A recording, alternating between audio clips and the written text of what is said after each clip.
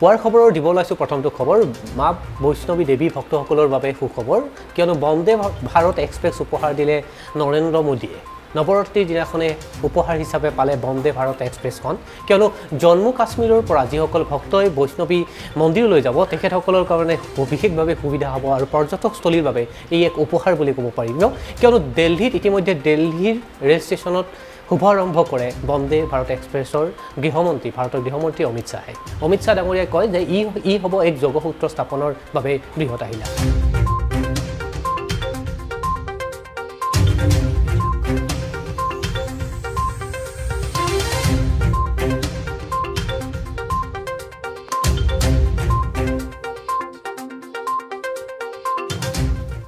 খবৰলৈ। ঐতিহাসিক ৰাণী পাটগাঁৱৰ শ্ৰী শ্ৰী বুঢ়া গোসানী দেৱী দুৰ্গা পূজাৰ শুভ উদ্বোধনী। শতবৰ্ষ গড়কা হেতুকে বৃহত্তৰ ৰাণী অঞ্চলটোৰ পোন্ধৰখন গাঁৱে একত্ৰিত হৈ ছদিনীয়া বৰ্ণাঢ্য তথা মাংগলিক আৰু সাংস্কৃতিক কাৰ্যসূচীৰে অনুষ্ঠিত কৰে দুৰ্গোৎসৱ। উল্লেখ্য যে পৰম্পৰাগতভাৱে এইবেলি বলি বিধানৰ অংশস্বৰূপে মহ ছাগলী হাঁহ কুকুৰাকে আদি কৰি কচু ফুল ৰবাব টেঙা আদিৰ বলি দিয়া হ'ব। দুৰ্গা পূজাৰ শতবৰ্ষ উপলক্ষে এশখন পতাকা উত্তোলন কৰে উদযাপিত সমিতি তথা ৰজাঘৰীয়া পৰিয়ালবৰ্গই।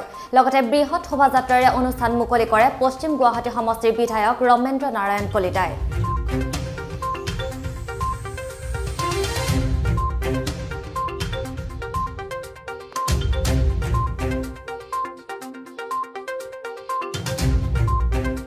এই ঐতিহ্যপূৰ্ণ শ্ৰী শ্ৰী বুঢ়ী গোসানী মা শ্ৰী দুৰ্গাৰ আজি এশ বছৰত ভৰি দিছেহি আৰু এশ বছৰত ভৰি দিয়া হেতুকে বিভিন্ন কাৰ্যসূচীৰে আমাৰ দুৰ্গা পূজা পৰিচালনা সমিতিয়ে বিভিন্ন কাৰ্যসূচী গ্ৰহণ কৰিছে।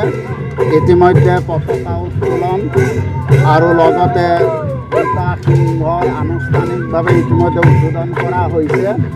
আৰু বিশেষভাৱে বিভিন্ন জাতি সমন্বয়ত জাতি জনগোষ্ঠীৰ সমন্বয়ত আজি এটা শোভাযাত্ৰাও শতবৰ্ষ উপলক্ষে ইয়াতে আয়োজন কৰি ইতিমধ্যে শোভাযাত্ৰা আৰম্ভ কৰা হৈছে। গতিকে মই আশা ৰাখিছোঁ যে মা দুৰ্গাই আমাৰ এই অঞ্চলৰ লগতে সমগ্ৰ অসমৰ জনসাধাৰণৰ কল্যাণ কৰক মংগল কৰক অশুভ শক্তিক বশ কৰি শুভ শক্তিৰ উদয় হওক। তাকে মই কামনা কৰিছোঁ।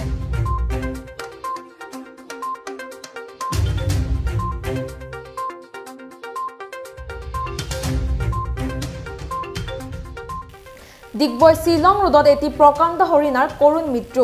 ডিগবৈৰ আই অ' চিৰ বিষয়াৰ বাসগৃহৰ চাৰিসীমা থকা ফেন্সিঙত লাগি মৃত্যু ঘটে হৰিণাটোৰ। হৰিণাটোৱে মুখমণ্ডলত গুৰুতৰভাৱে আঘাত পাই মৃত্যুৰ মুখত পৰা বুলি সন্দেহ কৰা হৈছে। ফেন্সিঙত লাগি থকা অৱস্থাত ডিগবৈ বন বিভাগক বাৰম্বাৰ খবৰ দিয়াৰ পাছতো সময়ত উপস্থিত নোহোৱা বুলি অভিযোগ ৰাইজৰ।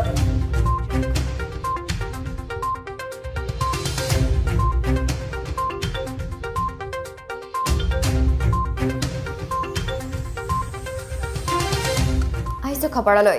বৃহস্পতিবাৰে বৰপেটা নাগৰিক অধিকাৰ সমিতিৰ উদ্যোগত অনুষ্ঠিত হয় এখন আইনী কৰ্মশালা।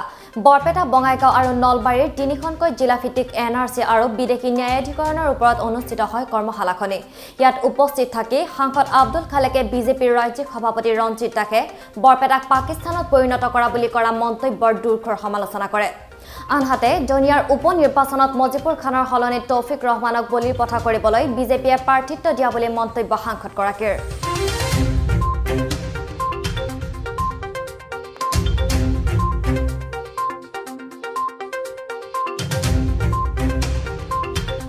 সকলো বস্তু এতিয়া এন আৰ চিখন আমাৰ উচ্চতম ন্যায়ালয়ৰ নিৰীক্ষণত চলি আছে। এইটো কোনো ধৰ্মৰ ভিত্তিত নহয়।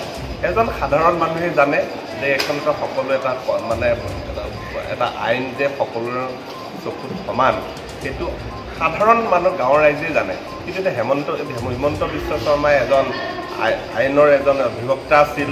তেওঁ এজন শিক্ষিত লোক এজন প্ৰভাৱশালী আৰু আমাৰ কংগ্ৰেছ দলৰে আছিল। গতিকে তেওঁ এইটো কি ভিত্তিত কৈছে মোৰ নিজৰে অকণমান হাঁহি উঠিছে। কিমান যুক্তিসংগত? যুক্তি নহয় তেওঁ আইনৰ all are equal there is no' discrimination between Hindu Muslim ধৰ্ম ভিত্তি এইবিলাক ক্ষেত্ৰত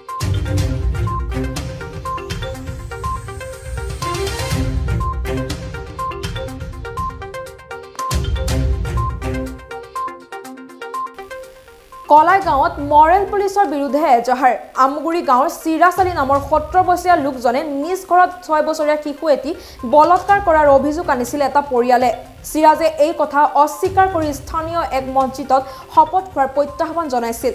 কিন্তু উত্তপ্ত একাংশ লোকে সত্তৰ বছৰীয়া বৃদ্ধক মাৰধৰ কৰি হাত বান্ধি অমানৱীয়ভাৱে প্ৰহাৰ কৰে। ইফালে চিকিৎসালয়ৰ তথ্য অনুসৰি বৃদ্ধজন নিৰ্দোষী বুলি প্ৰমাণিত হোৱাত প্ৰহাৰত লিপ্তসকলক কৰায়ত্ব কৰাৰ দাবী তোলে একাংশই।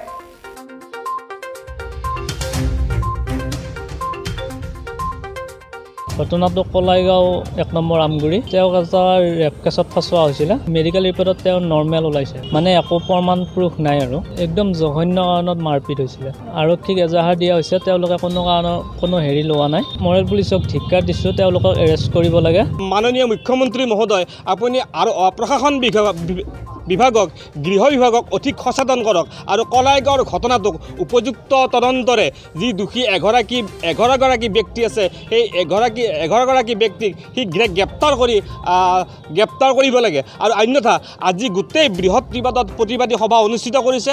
পৰৱৰ্তী সময়ত আমি সমগ্ৰ দৰং জিলাতেই এক বৃহৎ প্ৰতিবাদী সভা আমি মংগলদৈ সদৰত আহ্বান কৰিম। ইয়াৰ যদি আপোনালোকে প্ৰতিকাৰ ব্যৱস্থা নকৰে তেনেহ'লে পৰৱৰ্তী সময়ত আমি দহ দিনৰ ভিতৰত এই ঘটনাক লৈ পেলাই সমগ্ৰ দৰঙতেই মংগলদৈ চহৰত আমি এখন বৃহৎ প্ৰতিবাদী সভা অনুষ্ঠিত কৰিবলৈ বাধ্য হ'ম।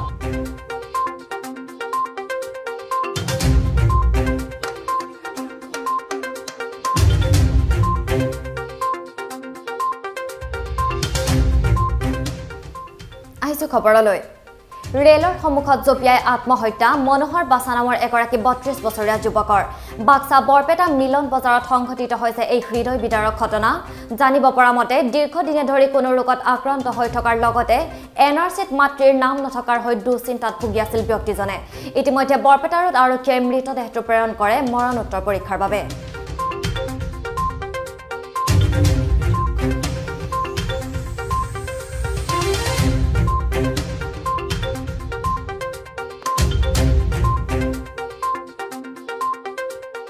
বাক্সা জিলা অন্তৰ্গত বাৰাবাটা গাঁৱৰ চুবুৰীৰ ল'ৰা মনোহৰ বাছা নামৰ ল'ৰাজন তেওঁ ৰেলৰ আগত মানে ৰাতি এটামান পিছত ৰেলৰ আগত কাটি তেওঁ আত্মহত্যা কৰে। আৰু আমি ঘৰৰ মানুহে বা হয়তো ওচৰ ওচৰৰ মানুহে ৰাতিপুৱাই গম পালোঁ তেওঁ আত্মহত্যা কৰিছে। আমি তাৰপিছত চালোঁ চাই মেথে মানে পষ্টমৰ্টম কৰিব লৈ গ'ল। এবছৰ আগৰ পৰাই বেমাৰত অলপ ভুগি আছিলে।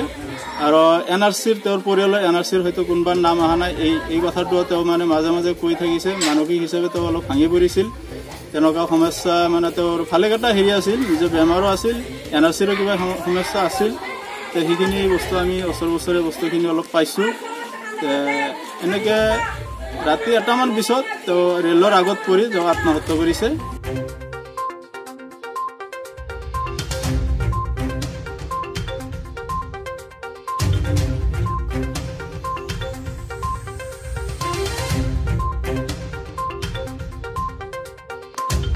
ইয়াৰ লগে লগে পুৱাৰ খবৰৰ পৰা বিদায় লৈছোঁ। ধন্যবাদ।